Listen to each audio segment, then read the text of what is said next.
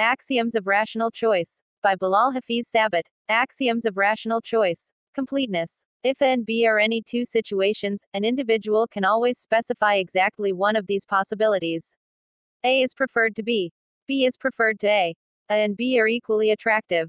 Transitivity. If A is preferred to B, and B is preferred to C, then A is preferred to C. Assumes that the individual's choices are internally consistent. Continuity. If A is preferred to B, then situations close to A must also be preferred to B.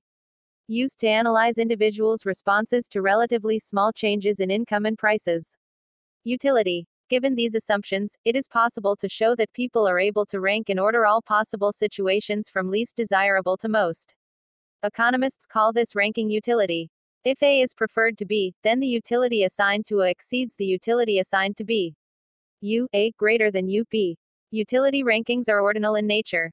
They record the relative desirability of commodity bundles.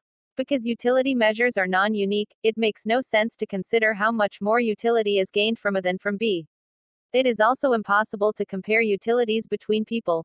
Utility is affected by the consumption of physical commodities, psychological attitudes, peer group pressures, personal experiences, and the general cultural environment. Economists generally devote attention to quantifiable options while holding constant the other things that affect utility. Ceteris paribus assumption. Assume that an individual must choose among consumption goods X1, X2, Xn.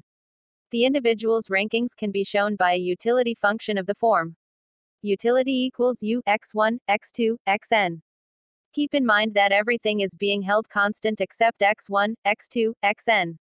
Economic goods. In the utility function, the x's are assumed to be goods. More is preferred to less.